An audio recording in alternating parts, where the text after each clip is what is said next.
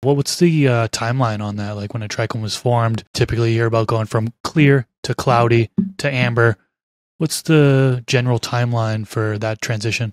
Well, it kind of depends on. I mean, it could take several weeks. Um, you know, the transition between, uh, particularly when you're going from like cloudy to amber, it's really the when the color starts to form inside of those trichome heads that there's an indication of some change in the chemistry. And sometimes what could be happening is the compounds that are inside of that trichome head could be um, starting to oxidize. And as they oxidize, the color will change a little bit. And a lot of growers will look at this as a sign of maturity, like the plant is ready to be harvested.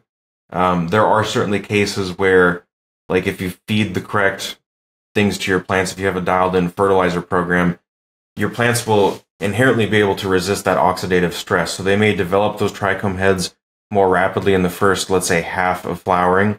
They're going to, like, develop them a lot faster and the flowers will grow out a lot more. But then when the trichome heads themselves are starting to, to become a little bit more cloudy and milky, they'll hang out in that transitionary space between being clear and being amber for a lot longer. So they'll resist the degradation associated with that that ambering effect. You know, they'll go through the first half really rapidly, but then for the second half, it takes them forever, seemingly forever, to finish up and to um, properly oxidized, So you see that color change happening.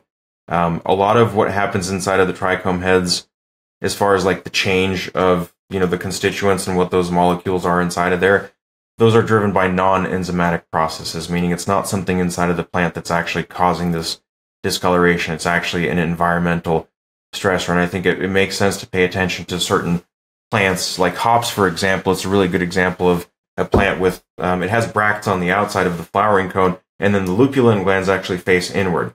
There are other plants, um, tomatoes may be a good one as well, where the trichomes actually pointed out. You know, if you look at the, the stalks and um, leaf surfaces of tomatoes, you'll see that those trichomes are actually exposed to the to the surrounding environment. Um, and that's an important consideration too, because when you're just exposed to the out outdoors with no protective sheath like hop cones have, that the bract itself is an actual physical sheath that protects it, you're more likely to get oxidative decomposition just because it's exposed to the air. You know. This clip is brought to you by Happy Hydro. For all your garden equipment needs, visit happyhydro.com, link is in the video description, and use the discount code MrGrowit.